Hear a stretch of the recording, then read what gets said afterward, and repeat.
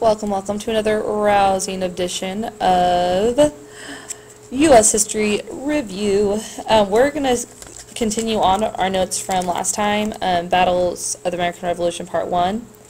This will be Part 2. We ended at Saratoga last time, and now we find ourselves in the winter at Valley Forge.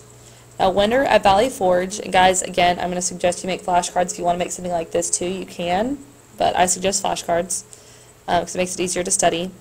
Um, Washington's greatest challenge during the entire American Revolution is keeping his army together at Valley Forge. He is going to be low on food, food shelter, clothing. His troops start to desert. Um, and no, they do not start like, you know, becoming ice cream. They like start leaving the army. They start leaving the military. Disease starts to run rampant. Um, we talked about smallpox spreads through these camps like nobody's business. And people's immune systems are low because they're cold because they don't have shoes. It's kind of like a vicious cycle. Um, next, while um, Washington is trying to figure out how to inspire his troops, he convinces Thomas Paine to write something called the American Crisis. And this is the one that says, um, these are times that try men's souls. Um, the summer soldier and the sunshine patriot will in this time shrink from the duty of their country. He's trying to tell them that, you know, people who are going to be here when it's easy, you know, they are they are nothing compared to the respect and honor that you deserve to stay here while it's tough. Um, and this will inspire the troops to keep fighting. Okay, Yorktown. We see that Yorktown be the last battle of the American Revolution. Now, what I want you to know about Yorktown, A, I want you to remember your memory trick, and I don't need to, I'm going to give you like five seconds to do it. Five. Your memory trick? Three. Two. One. Okay, here's your memory trick. Yorktown starts with a Y. Y is near the end of the alphabet, therefore, uh, we're going to say that Yorktown is near the end of the war.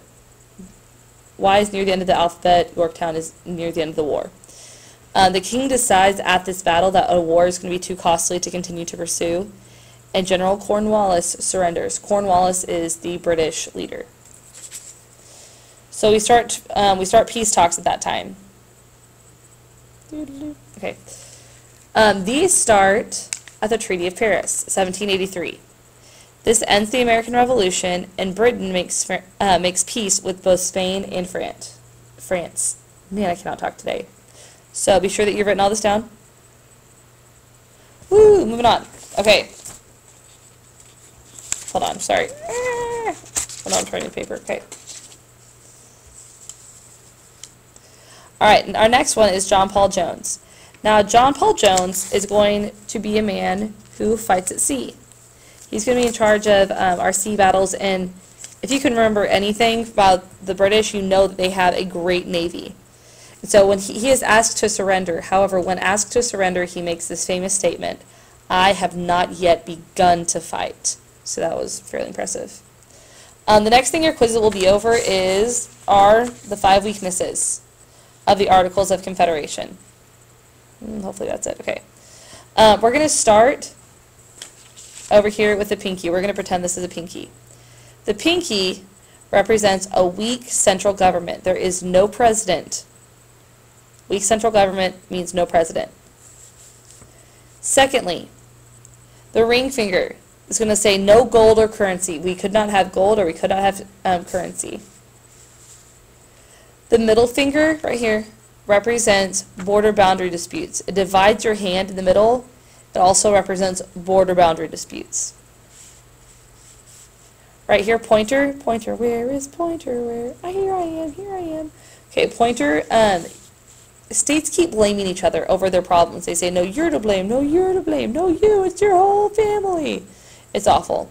And finally, a thumbs down means that other countries are not respecting us at all. Those are the five weaknesses you need to know about. This is me Puckett, signing off.